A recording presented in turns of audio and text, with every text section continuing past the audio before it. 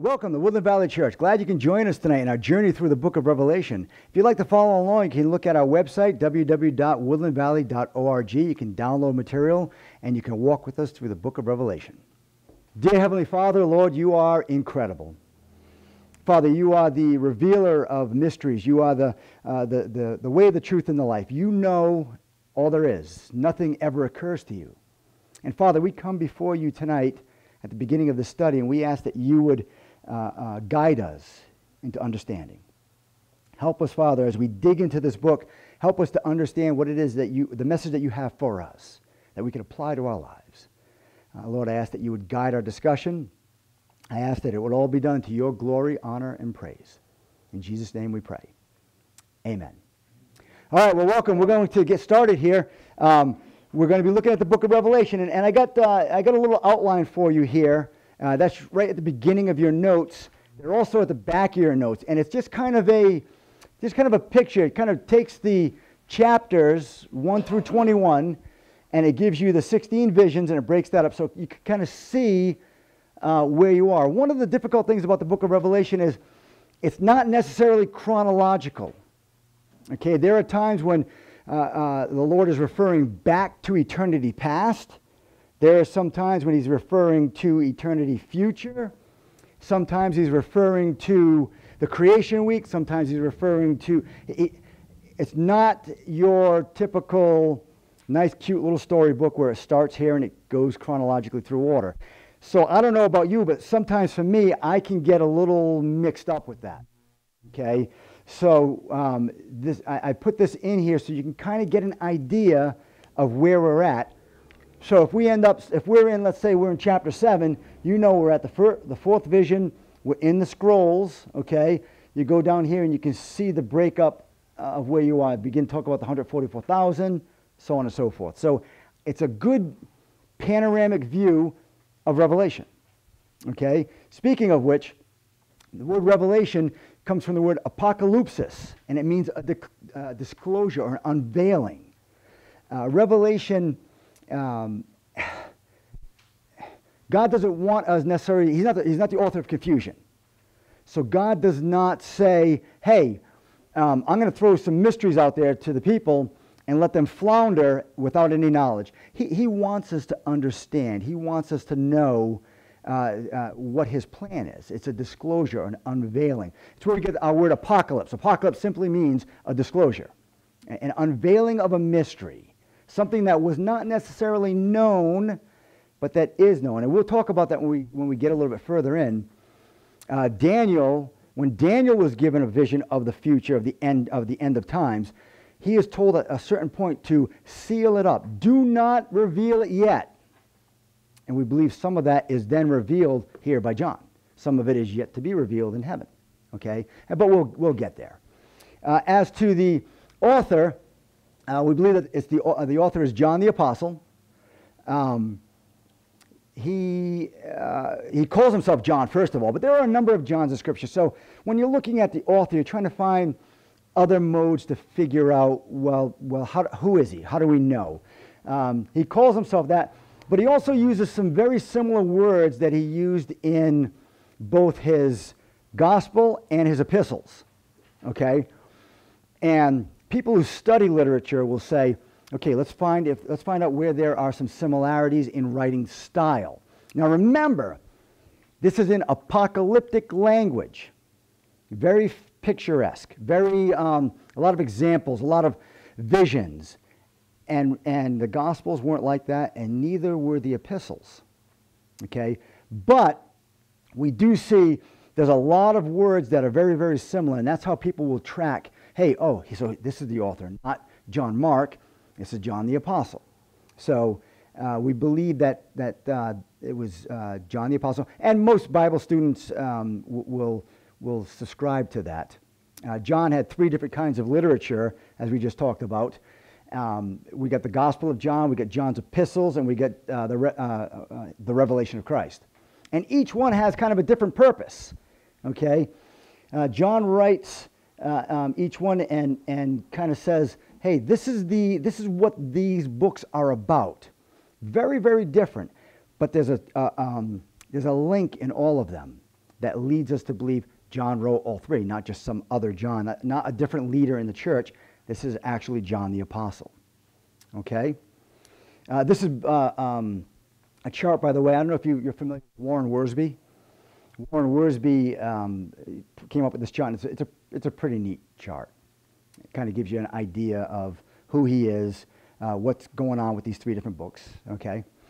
Um, purpose. Purpose of this book is to reveal Jesus Christ. Here's the deal. The Bible, from cover to cover, is an unveiling of Christ and his interaction with us. His, uh, um, his person, his purpose, and his, uh, his plan for, for each and every one of us. Um, Revelation chapter 1, verse 1 tells us uh, the revel. Matter of fact, I think I even have that up there. Yeah. The revelation of Jesus Christ, which God gave unto him to show unto his servants things which shortly must come to pass. And he sent and signified it by his angel unto his servant John. All of Scripture is Jesus Christ.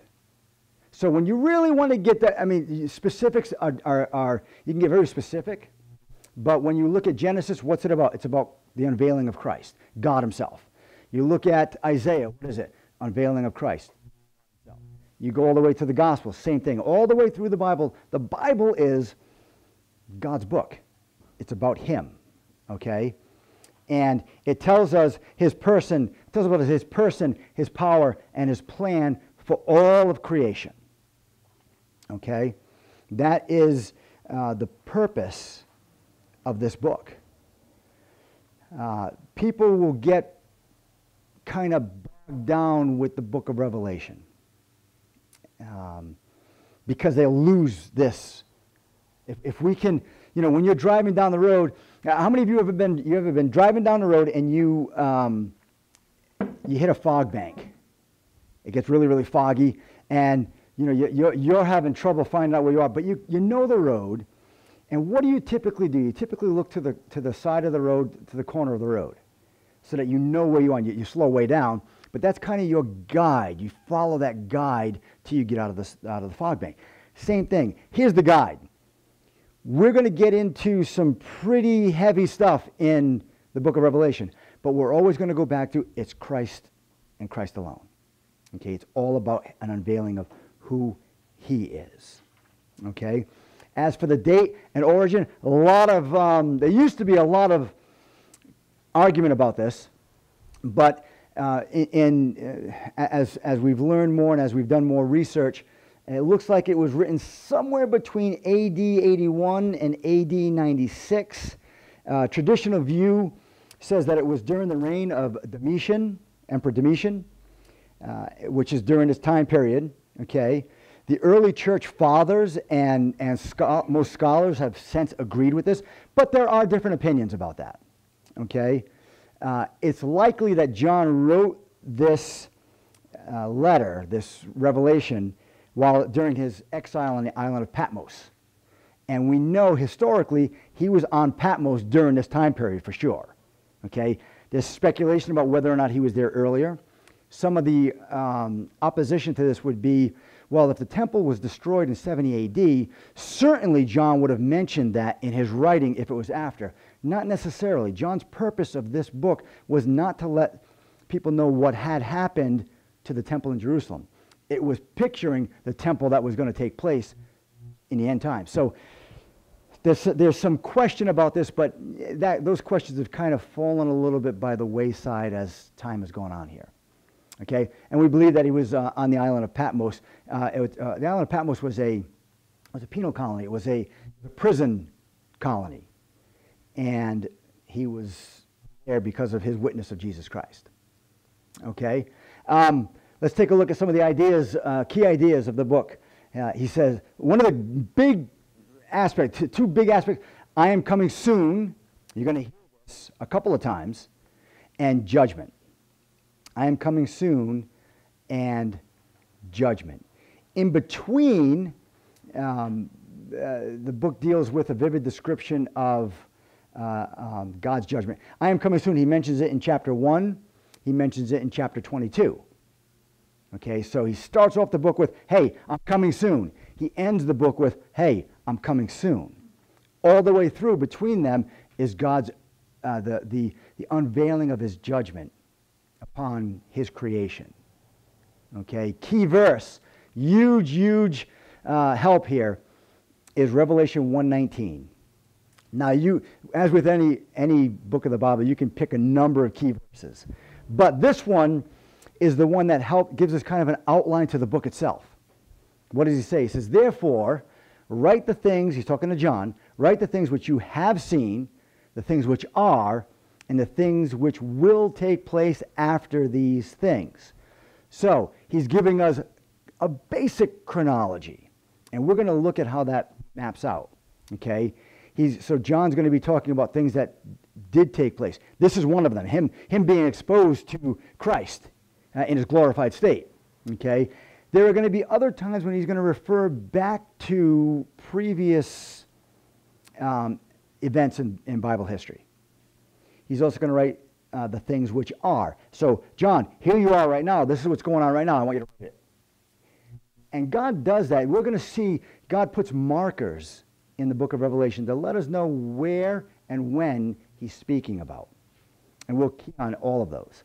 And obviously, because it's, it's uh, prophecy, the things which will, uh, will take place. Okay? Here's some key words that we're going to be looking at lamb. The word lamb 29 times. Interestingly enough, the other word, big word here, is throne. Lamb, submission, throne, rulership or sovereign.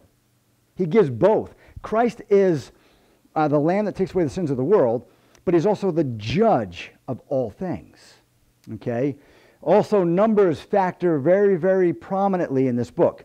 Uh, the number seven, 55 times. And we're going to look at some of those and why they're significant. Now, I'm not going to go down the uh, numerology road and say this number means this or that. We're going to look at, we're going to see some cases we're told what those, what the numbers mean. Some cases we're not. But I've been in, I've been in, I've done some research where people can get really far out on these things and they'll, they'll read into the numbers something that wasn't really meant to be read into. Okay? Number four uh, occurs 29 times, number 12, 23, and number 10 uh, uh, comes up um, nine times. Now, there are some dangers in studying the book of Revelation. Okay? And we're going to try to avoid these dangers. The first danger is the danger of sensationalism. We don't have to make the book of Revelation any more exciting than it already is. It takes care of that itself. Okay? We don't have to attribute to it meanings just to make it fantastic. It is an incredibly fantastic book. Uh, so we are going to avoid that. 2 Timothy 4, verse 3 says this For, when the time, uh, for the time will come when they will not endure sound doctrine, but after their own lusts shall heap to themselves teachers having itching ears. We live in the Hollywood age today, where everything has got to be better than last year in excitement and dynamic and take my breath away. And, and, and unfortunately, people have done that with God's Word. God's Word is, is, is the most exciting book in all existence. We don't have to make it something that it's not. So we're not going to sensationalize anything. We're going to look at it for what God wants us to look at it for, with, uh, um, and the meaning that He wants. Okay? And it's very, very easy to go down a road of, wow, you know what, this could mean this, or this could mean that, or I'm going to, I'll be the first one when we get to some of these sections, I'm going to say, hey, look, let's read this passage. I have no idea what he's talking about. okay? I don't even want to speculate because I have no clue. There's going to be sections when we're going to do that. And then there's going to be sections where I'm going to say, you know, based on the scripture, we're going to use a lot of hermeneutics, the art and, and uh, science of interpreting scripture. Based on her, the hermeneutics, this looks like what this is what, what he's trying to tell us here. But you know, if there's a section that we come to something that I have no clue, I'm going to let you know I don't know what this is. I don't, I'm not going to try to make you think that I'm intelligent because most of you know me and that's not going to work. Okay? All right, another danger is the danger of dogmatism. Dogmatism, what does that mean? Uh, dogmatism is um, um, becoming proud and, and, and divisive. Being dogmatic about something means, hey, I believe that this is what this is, and everybody that disagrees with me is wrong. That's dogmatic. That's what the Pharisees did. 1 Corinthians 8 1 says this Now, as touching things offered to idols, we know that we have, that we have all knowledge. Knowledge puffs up, but charity or love edifies. Okay? So we need to be careful about becoming too proud about our knowledge of the Scripture. Okay? We're not going to walk out of this room being, um, uh, you know, great mastermind Bible scholars in the book of Revelation and we know every word and every meaning and every everything and everybody else is peasants. We're not going to, we're not going to do that. We also have to be careful about the danger of escapism. Escapism. A lot of people will read the book of Revelation and they'll say, we better get out while we still can. Okay? There have been movements throughout history where preachers have gotten people to sell all their stuff, go up into a mountain because the rapture is going to happen tomorrow and you want to get the first seat. It sounds bizarre. We're not going to do that. we need to be wise. We need to provide and protect our families. But God has us in this world for a reason. We are in the world, not of the world. There's a reason for that. And it's to make a difference, it's to reach people for Christ. So even with, with our dying breath, we're able to reach people for Christ. That's what we're supposed to be doing. Okay? And the final danger that we have to worry about is pessimism. The danger of pessimism. Uh, we must be full of joy and hope. Okay, we cannot be buried in hopelessness or discouragement because of the things that we're, we're going to be looking at some things here and it's going to be, we're going to think, oh, wow, that's, is there any hope? We're going to get the sections in this book where we're going to see man, after God has revealed to them and given them chance after chance after chance, we're going to be getting to, to sections where man is going to shake his fist at God and say, we know you're there, we know you're doing this, but we won't follow you anyway. And that's going to be, we're going to think, well, what's the point? The point is, as long as you're drawing breath, we give glory to God. We're, we're not going to get into a, oh, this book is so depressing. I don't think the book is depressing. In fact, you know, we got some charts that we'll refer to. We got a seven year period of tribulation. I believe that seven years of tribulation is God actually reaching out to the remnant, saying, You wanted a sign, I'm going to give you seven years of signs to reach you. Okay, I think that it's God's, it's going to sound weird, but I think the tribulation period is God's grace and mercy to a world lost and dying. Because people have been saying, hey, I, you, you read about that professor who said, you know, if God is real, tell have him knock this apple out of my hand right here in front of this class. The arrogance and pride of that. To think, you little man, what makes you think that God is going to jump through a hoop for you? To do? But God's going to spend seven. He's going to say, okay, you wanted a sign? Here you go. What are you going to do with it? And some people are going to shake their fist at God. Okay? So people don't really want a sign. People just want what they want. And God says, no, this is my world. This is about my son, not you. I'm loving you. I'm bringing you a part of my plan. But what you got to understand is God is the central figure and most prominent figure in all the universe. Okay? All right. So, those are some dangers. Here are the solutions to these dangers. Okay? We're going to major on the majors. How many of you ever heard the book, uh, Don't Sweat the Small Stuff? It's all small stuff. It's a good It's a good title, at least. Okay? Um, in essence, the book says Jesus wins. Okay? So, let's start out with that. How many of you would say um, Jesus wins? Okay, so we're all, all in agreement. So everything from this point on is okay. We're going to disagree on some things. We're going to look at Scripture, but Jesus wins. In the end, he wins. So we're going to have some different views. We're going to have some different opinions, and that's good. God gave us all a three pound lump of flesh in our skull. We need to use it.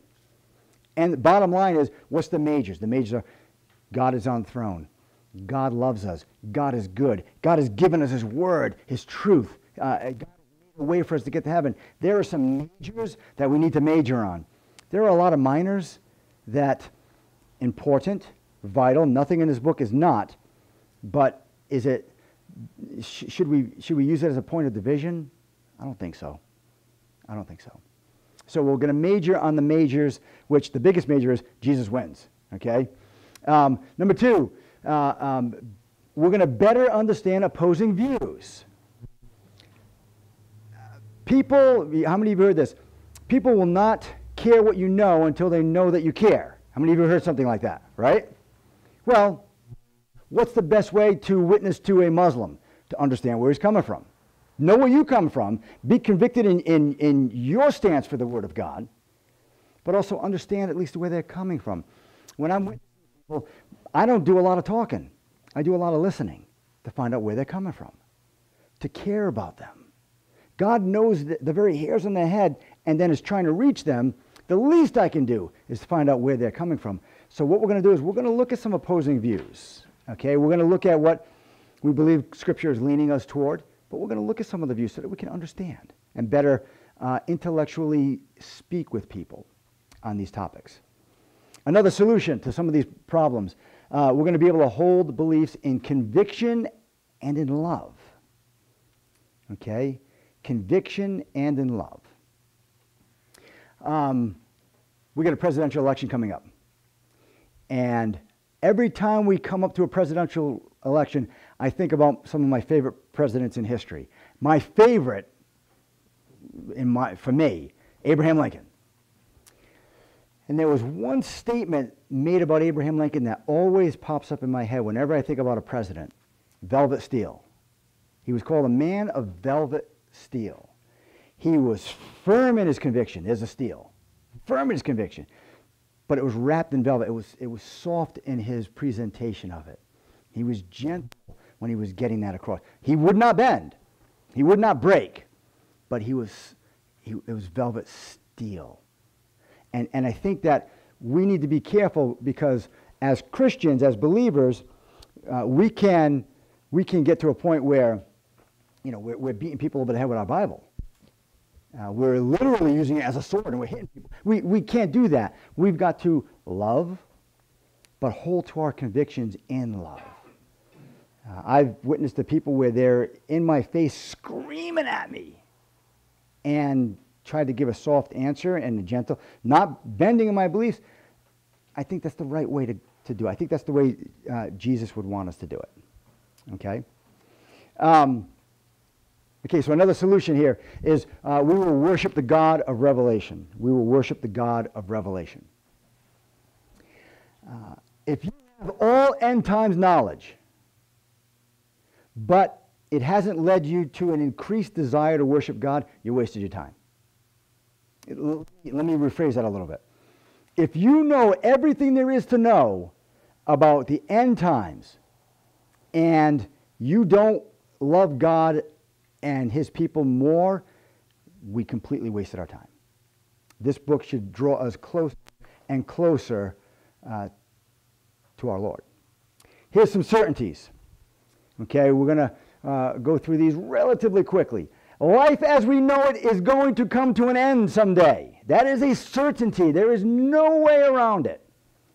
Things are not going to continue forever the way they are. Things are going to change. Okay? Um, another certainty Jesus is coming again. These are certainties. These are things that you know you, you, uh, you don't, um, um, we, can, we can bank on, so to speak. Okay? More than a quarter of the Bible consists of prophecy. Okay? For every passage or prophecy that talked about Christ's first coming, there are eight that talk about his second coming. So there's eight times as much about what's about to take place than there was about what already took place. Okay? Number three, God will judge all people. He will judge the saved and the unsaved alike. Okay? according to 2 Corinthians 5:10 says for we must all appear before the judgment seat of Christ that everyone may receive the things done in his body according to uh, that he hath done whether it be good or bad so unbelievers are going to stand before the white throne judgment at the end of time but believers are going to stand before the judgment seat or the seat of Christ and that's the judgment seat of rewards which we'll get to that number four um, um, all will exist forever. Believers will live forever. Unbelievers will exist forever. Okay? Heaven is forever. Hell is forever. And we see that in Daniel chapter 12, verse 2. We see it in Matthew 24, verse 46, uh, 25, verse 46. And finally, there will be a new heaven and a new earth. There will be a new heaven and a new earth, because Revelation 21 1 tells us. And I saw a new heaven and a new earth, for the first heaven and the first earth were passed away, and there was no more sea. Okay, we are going to, there's our intro. We're going to close in prayer, and, um, and then we'll take uh, a few moments to, to do a little bit of questions and answers. So let's pray. Father, we thank you for this day. We thank you for who you are. We love you. We cherish you. Lord, I ask that you would continue to help us to grow in our knowledge and love of you. We do love you. We come to you in Jesus' name. Amen. We are really glad you're able to join us tonight in our study through the book of Revelation. If you happen to live in the Mars area and like to join us on a Sunday morning, you can come visit us at 225 Crow Ave, Mars, Pennsylvania, or you can check us out on the website, www.woodlandvalley.org. But if you live near a local church and you're already plugged in, I would encourage you to continue to do so, and you can use us as a, an additional resource to help you in your study through the Scripture.